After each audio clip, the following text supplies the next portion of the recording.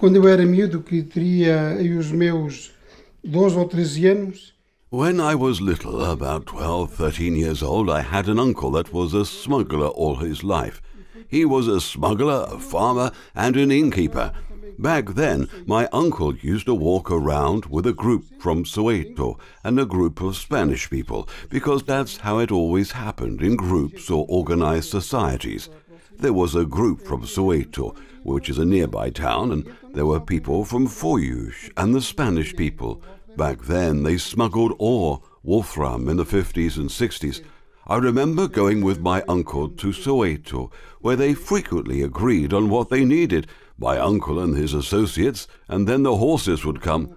At night, 60, 70, or 100 riders would come out, going from Soito to Foios and Spain, crossing the border here in Foios.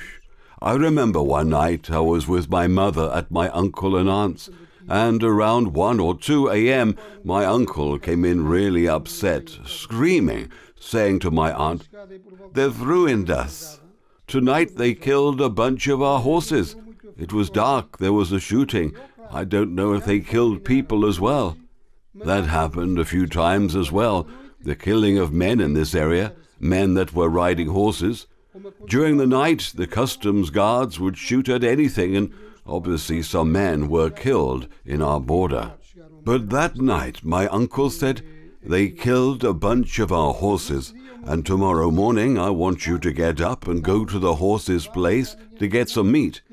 Better to lose the saddle than the horse, as we usually say. In the morning, I was awakened by my mother and uncle, and I went to the forest house, where my uncle had said the slaughter had happened. When I got there, at least seven or eight jeeps were there. All the lands had guard houses, and all the customs guards were there and had already taken almost all the meat. When I got closer, they recognized me immediately and realized that the horses belonged to my uncle. My uncle owned a tavern where the guards would eat and drink every day.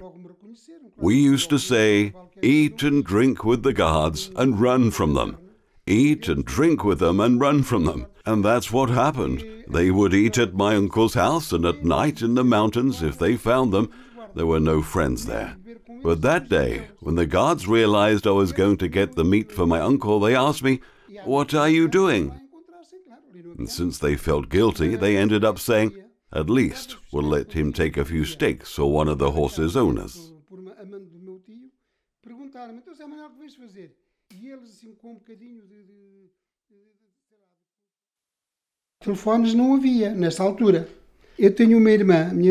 There were no phones back then. My sister Dulce would go to Valverde to take a message and note where they had written what she should say to the Spanish. Today or tomorrow, we're not going through that place, we're going through the other one.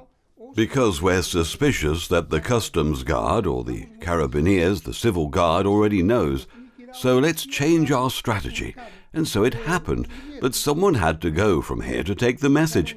The customs guards and the carabineers started finding the notes, searching the girls that took them, and then they had to stop doing that. They had to memorize the message and pass it on, because that could happen.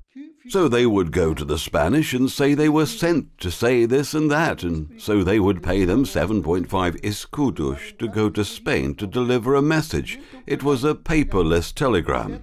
My sister told me she went twice on the same day to deliver a message to Valverde, which is about 14 or 15 kilometers from here, by foot through the footpath. When she had two messages, her week was made. And one day, the society from Soito was at my uncle's house having lunch, eating kid goat. My sister came in and said she had delivered the message, and they asked if everything had gone smoothly, and she said yes. They were all satisfied, and said, Dulce did so well. We should all give her 25 tosh coins, old Portuguese coins. There were 10 or 12 of them, each gave her that amount. My sister said she had the month made. Agora vamos lhe dar a cada 25 tostões. These are the stories, and many, many more.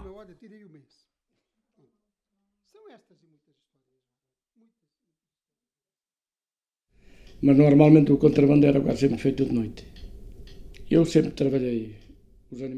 Smuggling was usually done at night. I've always worked with the animals from Portugal to Spain and back. We were always running away cross country. By then we had those tracks and footpaths, but we didn't always go through them. Sometimes we had encounters with customs guards and had to take a detour. The night was so dark, storms and all, we would get lost and run randomly. Along the border, there were guard houses everywhere. All the villages had them. From Monfortinho to Almeida, I ran across almost every border. I crossed almost all of them. I was caught so many times. The customs guard would show up and started shooting.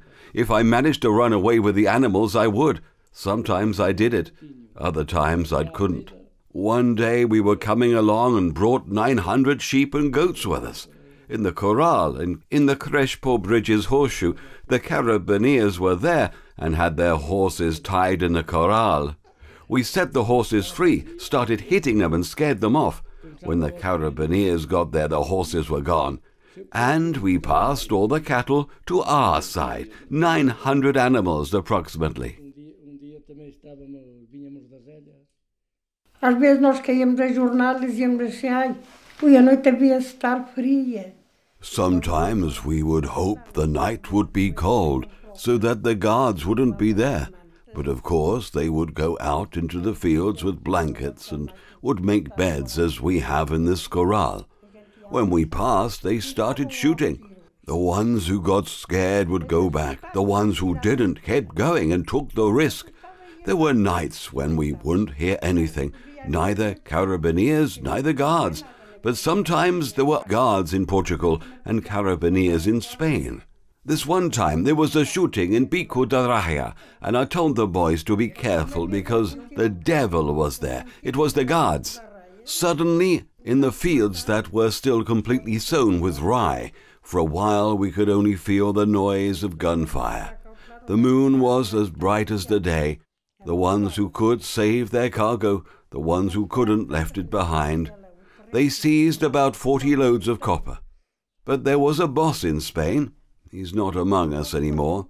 And we asked him, Mr. Faustino, if there were still many loads to go, and he said, still about forty. While they prepared the loads in a corral down the street, that guard, being local, realized that there would be smuggling at night. He called Vilar Formoso, and the ones in Malhada were so quick that they seized about forty loads. But he was the one who warmed the guard